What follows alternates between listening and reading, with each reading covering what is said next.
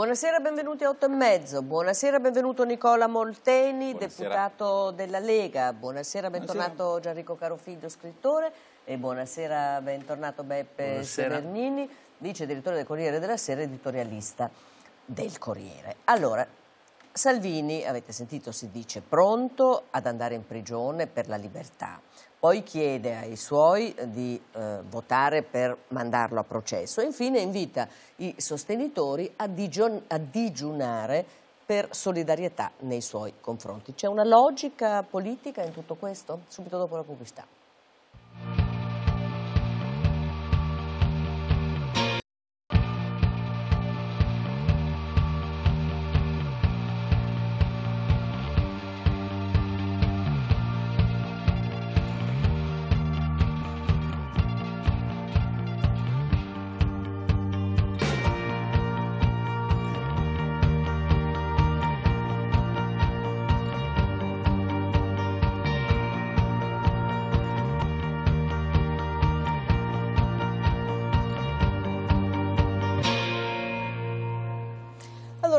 Molteni, Salvini ha chiesto ai sostenitori di digiunare per solidarietà nei suoi confronti dopo che voi, eh, senatori leghisti, con il vostro voto avete deciso di mandarlo a processo su richiesta dello stesso Salvini. Intanto le volevo chiedere, lei sta già digiunando? Il mio è un digiuno continuo ormai, ormai da giorni per gli impegni politici, quindi Nel senso? tengo la linea, tengo, tengo la linea, ci sono tanti impegni politici, quindi salto pranzo e cena per adempiere a colazione questi tanti... pe- La colazione sì, la colazione, la colazione sì. E anche qualcosina poi prima di andare a dormire, perché Sì, sennò... sì, sì, sì, sì, Quindi non digiuna battuta. per solidarietà, Era- questo era abbiamo battuta. capito.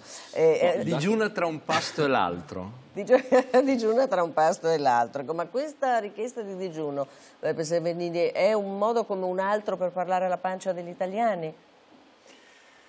Oddio, la battuta facile sarebbe, è un modo anche per parlare alla sua pancia, perché mi sembra che rispetto all'onorevole che ho visto prima in grande forma, forse se permette, il suo leader ne, avrebbe, ne ha un po' più bisogno. Però siccome so su questa cosa è sensibile, eh, rispondo seriamente. Eh, sì, in qualche modo sì, perché rende spettacolare questi ultimi giorni di campagna elettorale in Emilia-Romagna e di questo infatti ne stiamo parlando anche adesso. Io non lo trovo del tutto serio, cioè mi sembra che il digiuno non a caso è, è un elemento così importante nelle religioni, eh, eh, è una cosa seria. Il digiuno, il primo Pannella, era una cosa seria. Questo mi sembra un digiuno, ecco, una specie di digiuno a metà fra il dinner cancelling stile Fiorello, il saltapasto tradotto in italiano, e una trovata, ma secondo me ne- neanche lui la propone troppo seriamente, l'idea Però c'è 5.000... qualcuno che eh, segue perché su Facebook credo ci siano già, ecco qua, vedete, Su digiuno per 5.000 Salvini 4.269 che saranno siamo di più tra un 60 po'. milioni e 4.000 che secondo me... Ma insomma già sempre eh, mi stupisco che ce ne siano così tanti. Secondo me non lo so, non, non conosco queste 4.200 persone, mi sembra che l'intera faccenda non vada presa troppo sul serio, secondo me neanche Salvini la prende troppo sul serio, perché se no la risposta dovrebbe essere seria. Eh. E sarebbe non sei serio, caro Salvini, perché proporre un digiuno, una cosa seria come un digiuno, prima di un'elezione, perché ti mandano a processo, un processo per cui il tuo partito ha votato sì, qui siamo alla... alla- Eh, eh, sì, tra l'altro rischia davvero di andare in carcere Salvini perché dice caso Gregoretti, Matteo Salvini a processo rischia la galera per aver difeso la patria. E, e io sto con lui, digiunerò per un giorno in segno di solidarietà. A parte che lei ha detto che tutto molto ridicolo, a partire da Silvio Pellico. Io Citato per il da Salvini. Conto infatti di non utilizzare più il nome anagrafico del segretario della Lega, ma di chiamarlo Silvio Pellico, come ha inteso autonominarsi con una acrobatica operazione per la quale se io fossi un, eh, un umorista, un autore di articoli umoristici, un praticante della satira, gli farei causa. E gli farei causa perché uccide la satira con le sue stesse mani, dicendo cose di questo genere. E se Ma forse Silvio è quello che Pellico- vuole, Sì, stiamo sì, infatti ci sottovalutando invece una No, ma- tecnica no, ma infatti, comunicativa che sono d'accordo negli ultimi lei, giorni di campagna elettorale È esattamente quello che vuole. Mi sono chiesto per quale motivo non Maroncelli invece di Silvio Pellico, che era l'amico di Silvio Pellico che ebbe una situazione se possibile ancora più eh grave. No, perché lei è un ma, intellettuale. Là, ma sono sicuro che insomma ne ha conoscenza perché credo che Salvini abbia, Silvio Pellico abbia studiato storia, mi pare che avesse detto, forse lei ci può aiutare, che si sarebbe laureato in storia quando la Padania fosse diventata eh, autonoma, il che considerato quello che sta succedendo negli ultimi tempi forse rinvia un po' i tempi della eh, laurea di Silvio Pellico. Rinvia un po' la Secondo me invece il tema è estremamente serio, adesso mm. digiuno sì, digiuno no, eh, il digiuno è evidentemente una forma da un lato di solidarietà da parte di tanti cittadini italiani che probabilmente la pensano come Matteo Salvini sul tema dell'immigrazione, perché il tema dell'immigrazione, il contrasto all'immigrazione clandestina, la gestione dei flussi migratori che sono dei fenomeni globali, rispetto ai quali le risposte devono essere globali e non ci sono state, evidentemente sono dei temi che, rispetto ai quali i cittadini italiani condividono quello che Matteo Salvini ha fatto da Ministro dell'Interno. Innanzitutto Salvini non scappa dal processo e credo che questo sia un dato estremamente importante. Non, non ha timore e non ha paura di affrontare un processo rispetto al quale Salvini verrà processato eh, per sequestro di persona, cioè per aver fatto quello che un ministro dell'interno, chiunque esso sia e chiunque esso fosse, Salvini, Minniti, Alfano, eh, Pinco Pallino, no? il ministro dell'interno Luciana Lamorgese, attuale ministro dell'interno, il ministro dell'interno che è autorità nazionale di pubblica sicurezza, cioè il responsabile numero uno della sicurezza italiana ed è colui il quale coordina per definizione il controllo delle frontiere esterne del paese, avrebbe difeso la patria, avrebbe difeso la sicurezza, avrebbe difeso i confini del paese, avrebbe difeso la sicurezza dei cittadini italiani e per aver fatto questo, che è un diritto del ministro, anzi è un dovere che un ministro dell'interno deve assolvere, per aver fatto tutto questo no, rischia di essere messo sotto processo. Allora. Io credo che sia abbastanza anomalo, visto eh. che anche altri ministri in altri paesi difendono il loro paese, quindi è un dovere da parte del ministro dell'interno difendere la sicurezza del paese. Messa così, Severnini, c'è eh, allora, possiamo... Eh, allora, la questione dell'immigrazione è una questione molto seria. Le accuse di Salvini sono serie, sono d'accordo. La pensiamo un po' diversamente sulla questione, eh, però è un tema serio. Non mi sembra tanto serio accostare un digiuno preelettorale in questa maniera così estemporanea per far... Per, per, siamo qua a parlarne quando invece il tema è un altro, è appunto se i decreti di sicurezza che avete fatto fossero il modo giusto di affrontare la questione, eh, perché avesse fatto questa scelta, la nave era italiana, ricordiamo, quella prima... Era della Marina Militare Italiana, Marina la Militare Italiana, la tenuta, sì, però non, non, facciamo il processino otto e mezzo, mm. non sono neanche, poi siete due Anche avvocati. perché ci sarà il vero processo, no, ci sarà, il processo. No, è proprio l'accostamento, l'accostamento con, il, con il digiuno, cioè mi sembra, siccome la questione è seria, comunque la vediamo, anche se la pensiamo diversamente, è una questione seria, mi sembra così attaccarci il digiuno, mi sembra una di quelle trovate, però ripeto, evidentemente in mm. politica funziona. Trump fa questo moltiplicato 100, eppure prende dei voti, quindi si vede che funziona così. Ecco, più... però intanto quello che eh, è successo, eh, caro figlio, è che il tema dell'immigrazione è tornato in primo piano in questi ultimi giorni di campagna elettorale pur non essendo per nulla un'emergenza no? perché non abbiamo sbarchi continui sulle nostre coste, fermo restando che moltissimi, la maggior parte arriva invece via terra, se arrivano e quando arrivano. Eh, quindi intanto questo è un primo risultato che ha eh, raggiunto Salvini. E qui la interpello da ex magistrato. Rischia davvero di andare in prigione Salvini con questa vicenda? Io credo che dobbiamo chiarire i termini di fatto prima di dire due parole sugli aspetti giuridici e quindi sul rischio, certo se uno viene accusato di un reato grave e viene condannato, poi eh, se prende una pena superiore ai quattro anni di carcere in prigione ci può andare, ma secondo me per arrivare a questo spunto dobbiamo prima fissare le coordinate di fatto. Le coordinate di fatto sono le seguenti, le abbiamo già dette qui qualche volta, ma forse giova ripeterle c'erano dei migranti a bordo di una eh, nave italiana, una nave militare italiana. Ricordo, ricordo a, tutti quanti, a tutti quanti che la nave militare è territorio italiano, come una nave non militare, ma la nave militare ancora di più, quindi se sei a bordo di una nave italiana, sei sul territorio italiano. Quindi sgombriamo il campo dalla questione dei presunti confini da difendere, perché i confini, a torto o a ragione, erano già stati superati, perché questi signori erano nel territorio italiano.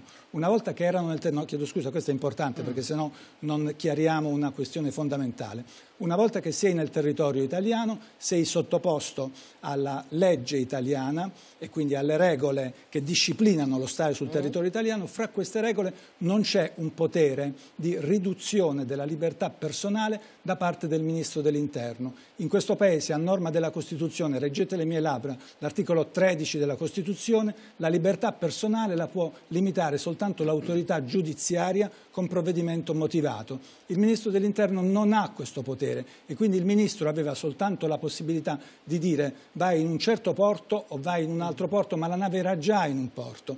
Quindi il fatto che il Ministro con un suo provvedimento impedisse a queste persone di spostarsi, di muoversi dall'imbarcazione, altro discorso sarebbe stato se gli avesse consentito sotto il controllo adeguato che era necessario, configura in astratto per i magistrati il reato di sequestro di persona. Appena è il caso di considerare, per parlare di quello che accadrà in Parlamento e quello che è accaduto prima in Commissione, che la possibilità di ritenere politico questo comportamento e quindi escludere l'autorizzazione a procedere non è consentita per quello che dice la Corte Costituzionale per interpretazione pacifica se vengono colpiti i diritti fondamentali dell'individuo. Eh, l'onorevole Molteni sa quali sono i diritti fondamentali personali e inviolabili.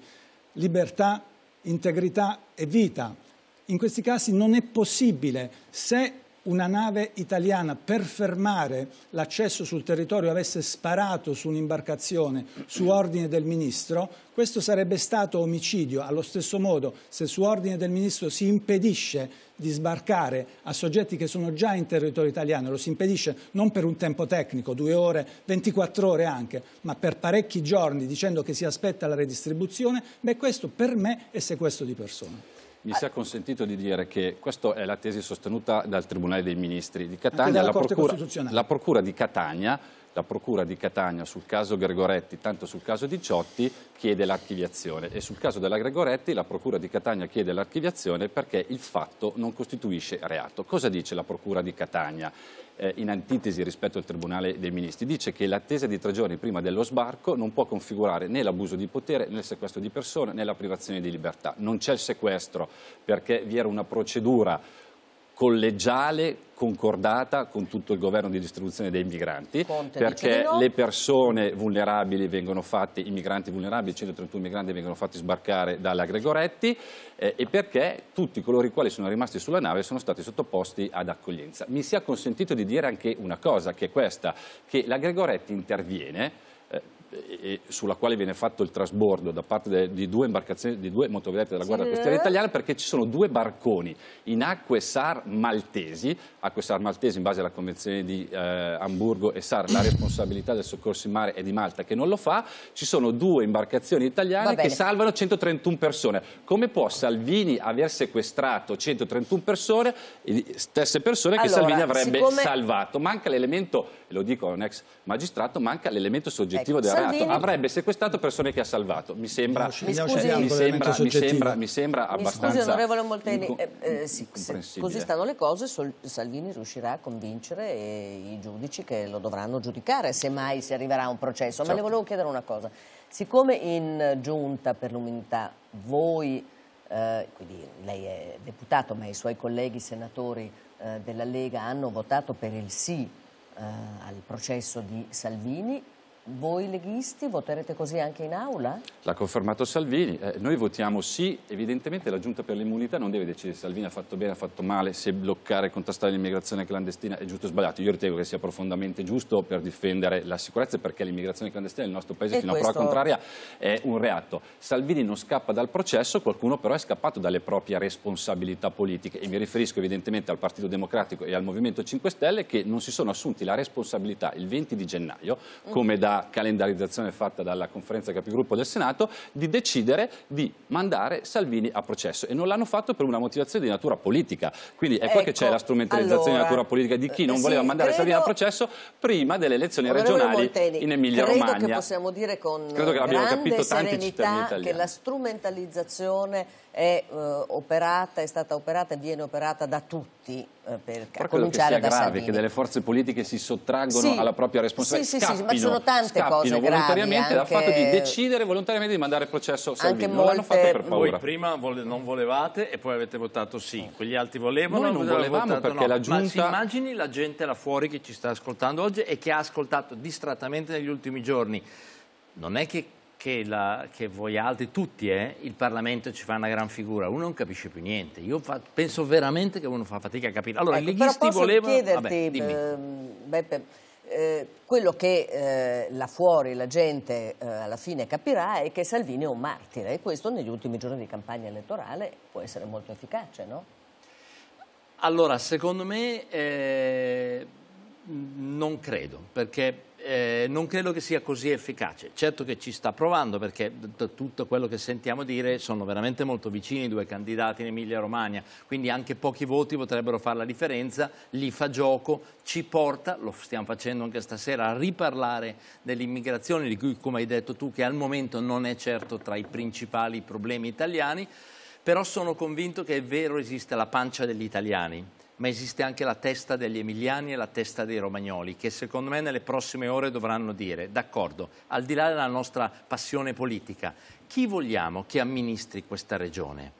Chi dei due? Chi è più capace? Noi hanno una sanità che funziona, trasporti che funzionano, asili migliori d'Europa o del mondo e un sacco di altre cose. Siamo sicuri che per passione ideologica, perché Salvini è un martire, bisogna votarlo?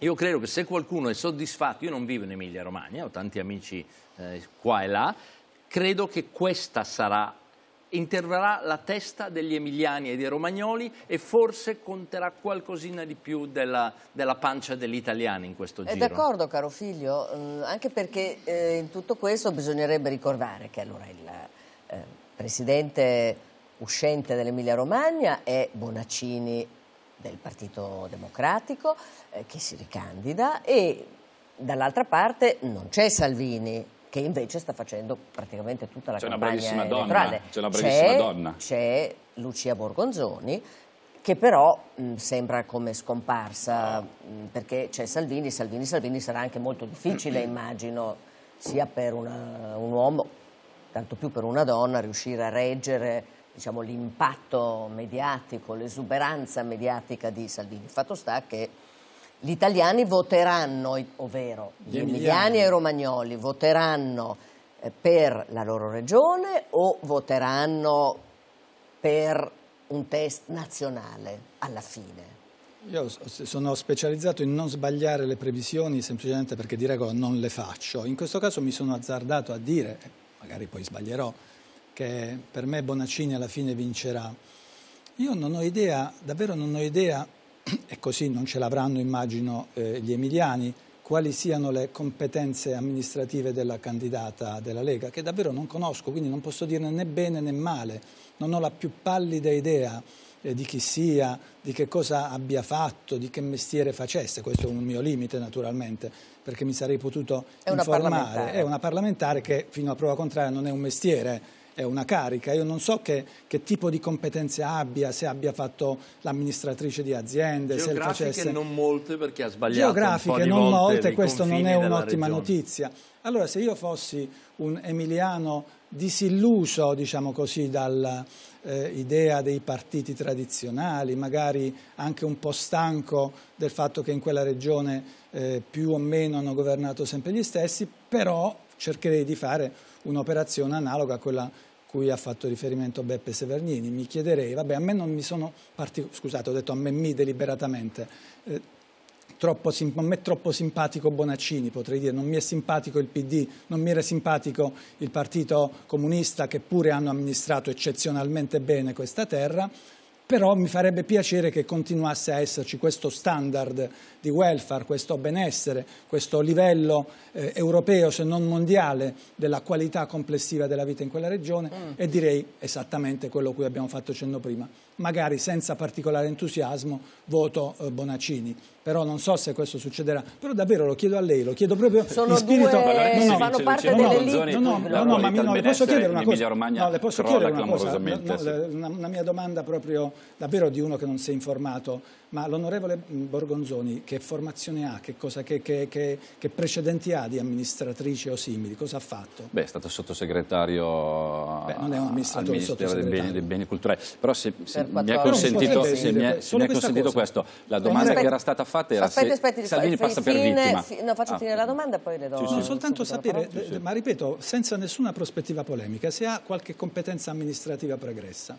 Sì, sì, eh, presumo di sì e, e comunque presumo sì. Adesso io non è che devo per forza sapere, sapere. eh, Lucia Borgonzoni cosa Però cosa presumo non le fa un grande servizio Però, onorevole. però se posso dirle, se posso dirle eh, io mi fido del popolo, e mi fido dei cittadini che voteranno e voteranno per il bene e noi rispetteremo quello che sarà il voto dei cittadini italiani. Solitamente in Emilia-Romagna le elezioni regionali finirono 70 a 30, 70 per il centro-sinistra e 30 per il centro-destra. Ho la netta sensazione che questa volta non finirà 70 a 30. Non so chi vincerà, evidentemente c'è un voto territoriale Se regionale. lei non conosce neanche il curriculum Ovviamente della so, vostra candidata in ovviamente- Emilia Romagna, ovviamente, eh, eh, ovviamente, poco ovviamente non finirà, ovviamente non finirà 70-30, ma ho la netta Mm. sensazione che questa sia una partita fortemente contendibile. Se è una partita fortemente contendibile, l'Emilia Romagna è una regione meravigliosa. Io non credo che se verrà governata da un leghista eh, il la qualità della vita e il benessere degli emiliani romagnoli diminuirà, anche perché laddove la Lega amministra e dove ci sono dei governatori leghisti tendenzialmente si governa bene e c'è apprezzamento da parte dei cittadini italiani. Dico semplicemente su Matteo Salvini, non so se passerà per vittima eh, o per martire, sì o no, sicuramente eh, passa per uno che ha fatto il suo dovere, passa per uno che ha fatto Vabbè, quello che deve fare il ministro dell'interno. i giudici a e il decidere. fatto, Però e il in fatto- Veneto, è una cosa e quindi, importante, e quindi in credo, Veneto la campagna elettorale l'ha fatta Zaia, in Lombardia l'hanno in fatta Romagna. Maroni guardi, una volta, io non so poi se l'hanno voi avete- fatto sicuramente voi non avete fatto campagna elettorale perché Fontana. fate altro nella vita. Noi che stiamo facendo campagna elettorale No, c'è vediamo- Matteo Salvini no, che sta giustamente facendo una campagna elettorale. fatto una io campagna credo che non elettorale. debba essere Ma proibito aveva- a un leader di partito fare una campagna elettorale su una campagna elettorale che ha evidentemente anche dei risvolti e una sensibilità nazionale. Eh, perché, perché se il Partito perché Democratico perde in Emilia Romagna evidentemente qualcosa al governo succede certo. ma sta facendo campagna elettorale anche eh, Lucia Borgonzoni che, che Sì, ovviamente ci mette che la faccia non, diciamo, non, non, Io- io non viene non sia raccontato. visibile, Scusa, no, non è che non viene raccontato. sul territorio sta Sì. facendo campagna elettorale, Voglio quindi, dire, è quindi una conversazione molto civile questa, io questo lo apprezzo, Beh, però no, no, beh, non è sempre scontato. Però ecco, vedete, nelle pieghe del lessico si nasconde eh, Il diavolo. il diavolo a volte, qui non è il diavolo ma l'intoppo. Il fatto stesso che l'onorevole Molteni ci dica sta facendo campagna elettorale anche Lucia Borgonzoni è il segno di quello che stiamo dicendo. Ripeto, io non ho elementi per giudicare questa no, mi scusi, mi faccia finire. Però, scusi, Mi- cioè, mi ci faccia ma non che mi deve, fa- mi deve fare mi deve fare così importante mi deve non fare possa e non debba mi fare deve campagna fare finire non Salvini mi deve parlare di fare non campagna mi deve parlare che possiamo limitarne anche lei voleva smentirmi avendo io detto che era una conversazione civile ha deciso di renderla meno civile. Prendo atto di questo fatto. Sto dicendo quando sono stato interrotto che nelle pieghe della lingua si nasconde Sì. l'intoppo, perché io, se, se io sento un deputato del partito della candidata Borgonzoni che ha, dice che non sa qual è il suo pregresso amministrativo, dice presumo che ne abbia di competenze, e poi dice ha fatto campagna elettorale anche la Borgonzoni, mi sta raccontando esattamente quello che stiamo dicendo noi, e cioè che c'è, come avrebbe detto Dante, lei coglierà la citazione, una donna dello schermo e invece qualcun altro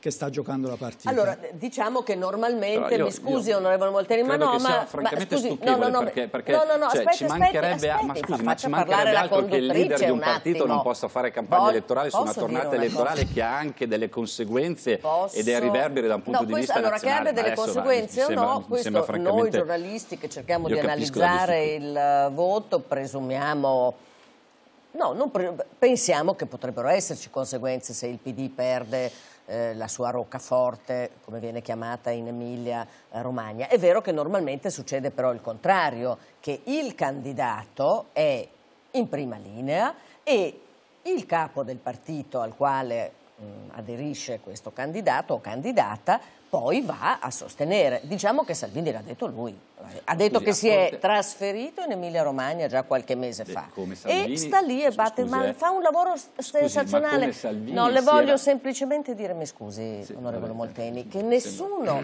sta mettendo in discussione il diritto di un leader politico di fare campagna elettorale per il, il o la candidata, ci mancherebbe altro. Quindi non giriamo. Però No, dal, però- 27, no, però- dal 27 però non gennaio in Emilia Romagna potete- si trovano il candidato che avranno eletto. Ma Sarà scusi, Bonaccini Salvini alla. Ma Salvini scusi, ma perché 27 dovete negare il fatto che Lucia Borgonzoni stia facendo campagna elettorale? Da cosa, lo de- da cosa viene dedotto il fatto che Lucia Borgonzoni sta facendo campagna elettorale? Lucia Borgonzoni sta Diciamo che facendo viene campagna un po' elettorale. oscurata anzi, allora dal leader di della Lega che Lucia Salvini. Borgonzoni è Andiamo partita nella campagna elettorale ancora prima che iniziasse la campagna elettorale, perché sono mesi che Lucia Borgonzoni, che è stata anche consigliere comunale a Bologna, che eh, è, è stata parlamentare, senatrice, sottosegretaria, è stata sottosegretario, quindi ha un'attività amministrativa, una cultura amministrativa e politica. Amministrativo non c'entra dal nulla, punto di usare vista, le beh, è parole stata in modo consigliere comunale, è stata consigliere comunale Bologna, ma lei, non scusi, ma- ma saranno i bolognesi, io non No, credo che lei sia, scusi. bolo- sia emiliano No, no, romagnolo, io- saranno gli io- emiliani me va romagnoli che tutto qua. valuteranno le qualità, le competenze, la professionalità e l'attitudine a fare quello che Lucia Borgonzoni Adesso che l'onorevole Molteni si è ricordato qualcosa del curriculum no, della Borgonzoni, mi sembrava veramente offensivo rispetto alla domanda fatta. Dopodiché Salvini ha fatto campagna anche elettorale in Emilia, ha fatto campagna elettorale anche in Umbria insieme alla candidata e mi sembra che in Umbria sia finita poco a tanto. Adesso, Allora, tra qualche cosa, giorno caro vedremo come, come- come finiranno le cose. Ma certo. È ma una certo. partita aperta, cosa che non lo è mai ass- assolutamente stato. Ma Quindi vuol certo. dire che Matteo Salvini e la Lega, che oggi è il primo partito in Italia, probabilmente qualcosa stanno portando in questa campagna elettorale. E ricordo che laddove la Lega amministra, probabilmente amministra anche bene. Quindi quella buona qualità amministrativa degli Zaia, dei Fontana, dei Federica, probabilmente dimostrano che gli uomini e le donne della Lega, in questo caso le donne, e ne sono particolarmente Certo, orgoglioso, ha ragione. eh, potranno governare bene. bene una regione Caro importante e bella Severnini. come l'Emilia Romagna. Intanto dissento, dissento sul fatto che Salvini sia il più bravo in campagna elettorale, ma su questo parleremo magari un'altra Ma volta entrando una nel dettaglio. È una mia opinione, non ha particolare ragione, importanza. secondo Quello che conta invece, ancora una volta, ripeto, da parte di una persona competente come l'onorevole Molteni, il fatto che eh, lui usi delle espressioni che tradiscono la mancanza dell'argomento. Quando io chiedo che esperienze di amministrazione ha la eh, onorevole Borgonzone, lei mi dice ha fatto il consigliere comunale. Ricordo a tutti che il consigliere comunale non amministra nulla, è un eletto in elezioni amministrative, ma amministra chi fa il sindaco, Vabbè, chi fa l'assessore. figlio, lei Scusi, abbiamo un Presidente del quattro, Consiglio però. che non ha mai preso un voto, quindi fa il Faccia Presidente del Consiglio. sul Quindi Presidente del Consiglio. Eh, Severnini, allora... Quando si presenterà, no, so- però abbiamo un Presidente del Consiglio che non è stato mai eletto, che non ha preso un voto Vabbè, e fa il intanto Presidente del Consiglio. Bene o male lo decideranno i cittadini italiani, però lo fa in maniera intanto legittima. il Presidente del Consiglio oggi ha detto che eh, solo Salvini ha deciso sulla Gregoretti e Salvini ha detto ci vedremo in tribunale, In- quindi se sarà una bella saga con Ci varie puntate ancora. Bisogna solo di 10 secondi.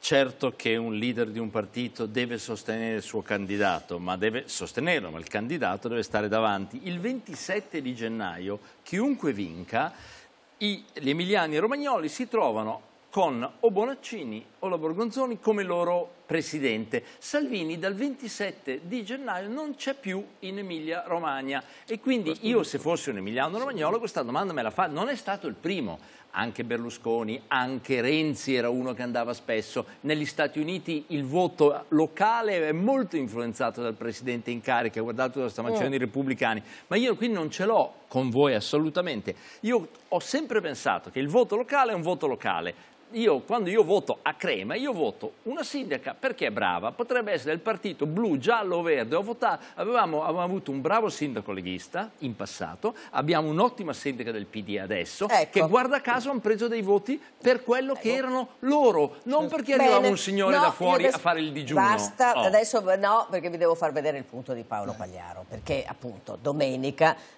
ricordiamolo, non si vota solo in Emilia Romagna, ma si vota anche in Calabria.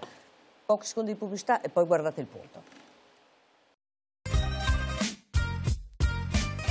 Non se ne parla molto, ma domenica si vota anche in Calabria.